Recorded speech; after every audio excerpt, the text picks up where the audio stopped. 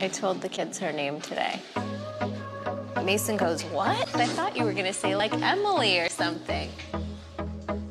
Everyone's gonna be like, Oh my god, that's the craziest name. And then they're gonna go crazy and then like, And then they get used to it. and then they'll get used to it. And then it'll be like, Oh, that's normal, like later. Yeah. You know what I mean? Yeah.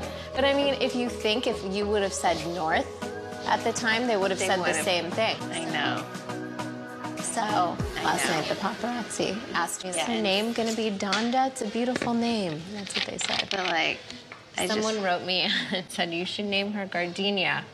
I know. I got like the most ridiculous things, like Queen, this. About miracle. Yeah, his cousin's like, I know, Miracle. And I'm like, Miracle West? That sounds like Miracle Whip. And that's like the biggest, like, stripper name of all time.